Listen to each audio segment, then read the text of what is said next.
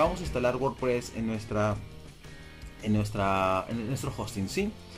En este caso voy a irme otra vez a aquí ah, voy a cerrar esto, voy a entrar aquí. Ok, en este caso yo tengo aquí un hosting de prueba, ok.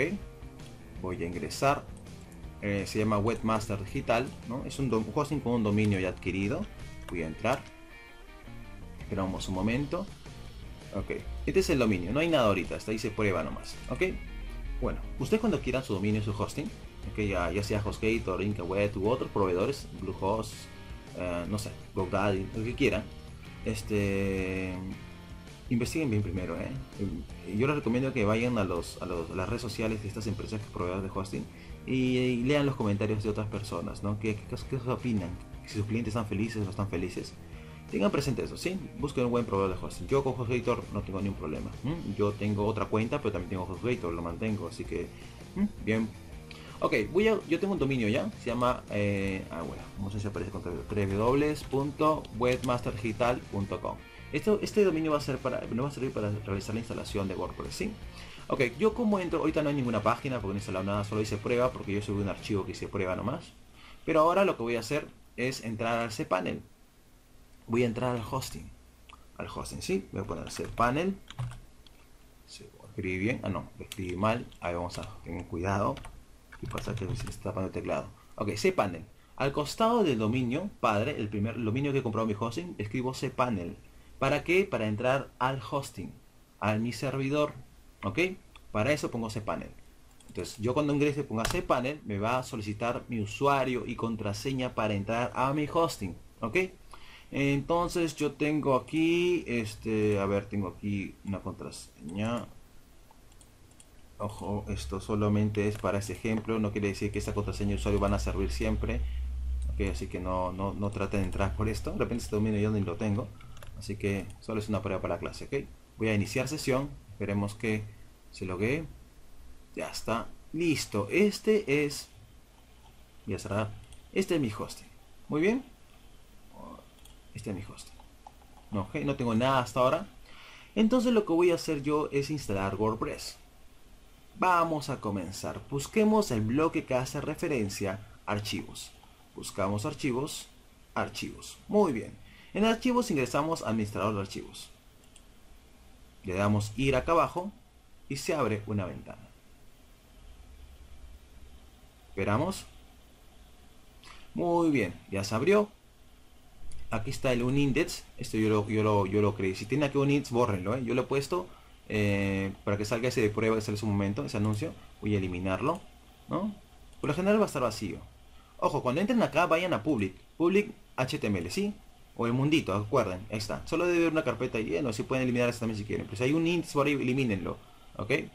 Muy bien, este es el dominio padre. Ahora, lo que vamos a hacer es proceder a cargar el paquete WordPress. Yo tengo aquí, si no me equivoco, tengo aquí el paquete WordPress que lo había descargado en la clase anterior, ¿no? Ya saben dónde descargarlo, está en el video anterior. Lo que voy a hacer es lo siguiente, mira, aquí en Public, donde estoy en la raíz, voy a dirigirme a cargar. Cargar, seleccionar archivo y busco aquí en mi escritorio WordPress. Abrir. Y va a empezar a cargar el paquetito. Puede demorar algunos minutos, así que vamos a esperar, ¿sí? Hasta que cargue todo eso.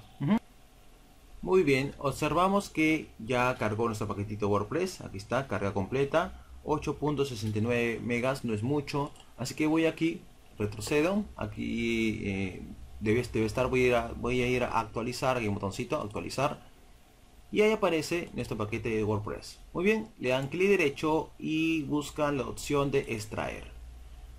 Extraer. Y aquí está. Cerramos. Close. Otra vez le damos a actualizar.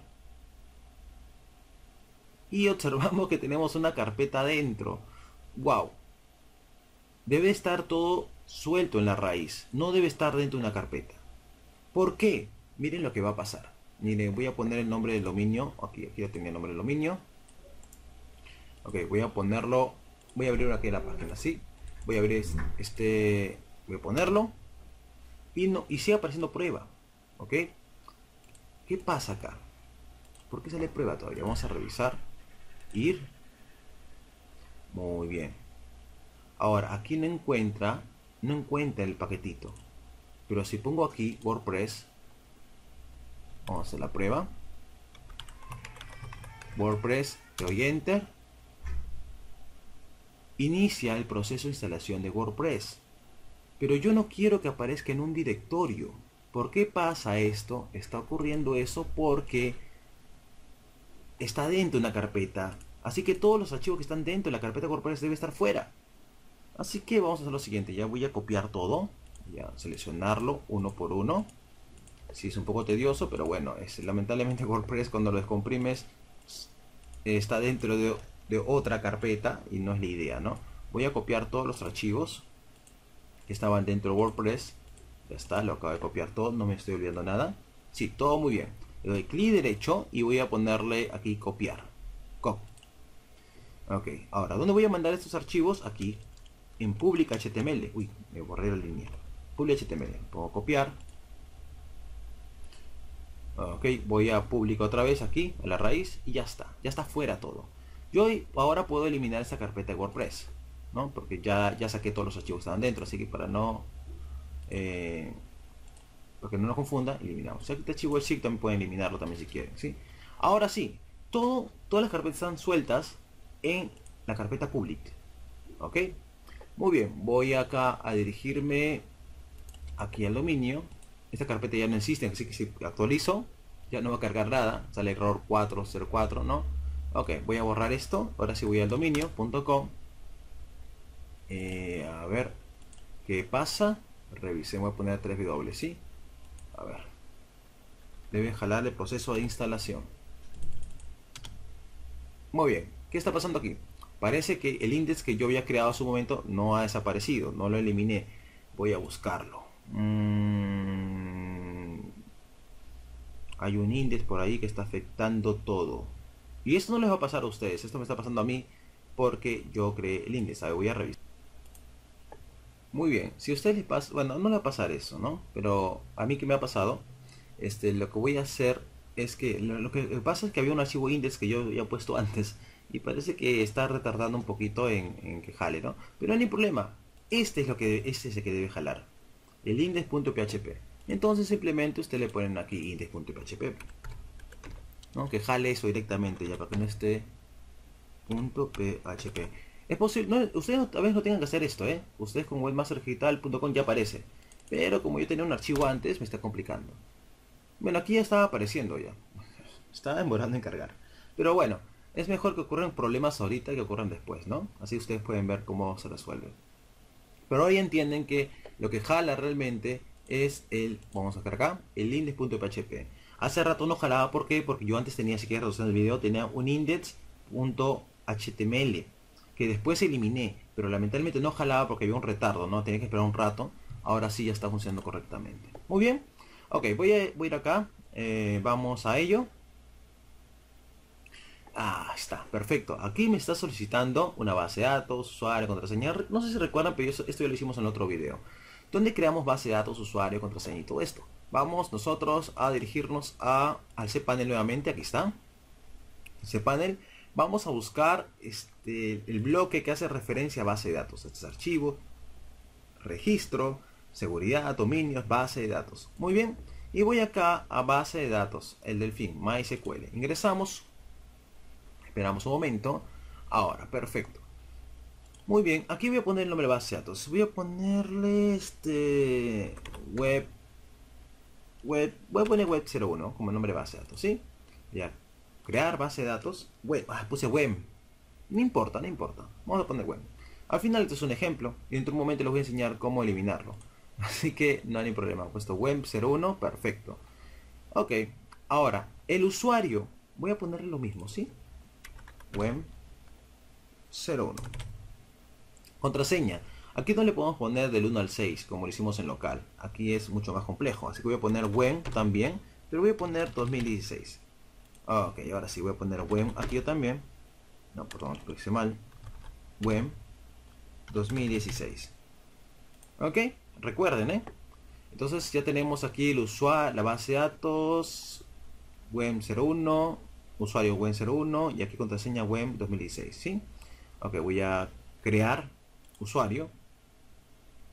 Muy bien, regreso a volver.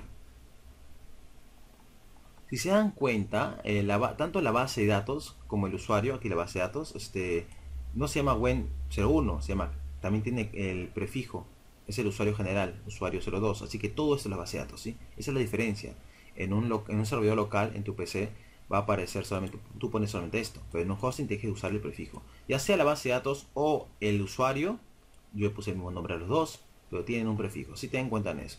Ahora voy a, a dar los permisos, añadir usuario, aquí tengo bueno, única base de datos, pongo los dos, pongo añadir, y más le doy todos los privilegios. No, aquí me dice la base de datos y el usuario se llaman igual. Aquí le doy todos los privilegios, voy a la parte inferior, hacer cambios. Muy bien, voy a, ya está, ya está casi todo. Voy a copiar esto. Ya está todo. Voy a regresar. Volver. Regreso al proceso de instalación acá. A ver, nombre de la base de datos. El nombre de la base de datos que igual que pusimos. Recuerda que sin pagar el prefijo. Nombre de usuario. Le puse la base de datos del usuario igual. Ahí está. Contraseña. Le puse web este 2016. ¿Lo recuerdan? Servidor local, dejemos localhost. Es el prefijo, lo pueden cambiar si desean. ¿sí? Ya les expliqué en el video anterior qué cosa pasaba si no lo cambiaban. Así que eh, voy a ponerle web. Web. ¿Sí? Ok. Ahora voy a enviar.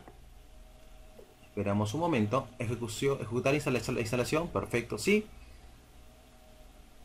Ahora, título del sitio. Este por ahora no importa mucho voy a poner mi primera web ok nombre de usuario el usuario con el cual después voy a loguearme a ver voy a ponerle aquí Brandon sí mi nombre ok contraseña voy a ponerle este Brandon 2016 ok muy débil me dice ya.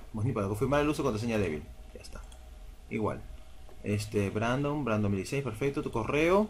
Este vamos a poner un correo un correo de gmail para hacer la prueba. Este disuade, aquí está, el motor de búsqueda, disuade a los motores de búsqueda, bueno, así, póngale que sí. Ok, recuerden, mi usuario eh, para loguearme es Brandon y la contraseña Brandon 2016. Es para entrar al instalador de WordPress, ¿sí? Voy a instalar WordPress. Ya está, acceder.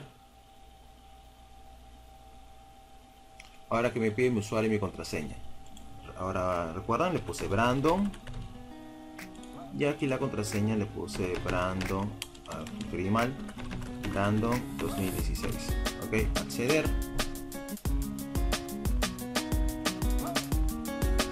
Y listo, acabo de entrar al administrador de WordPress.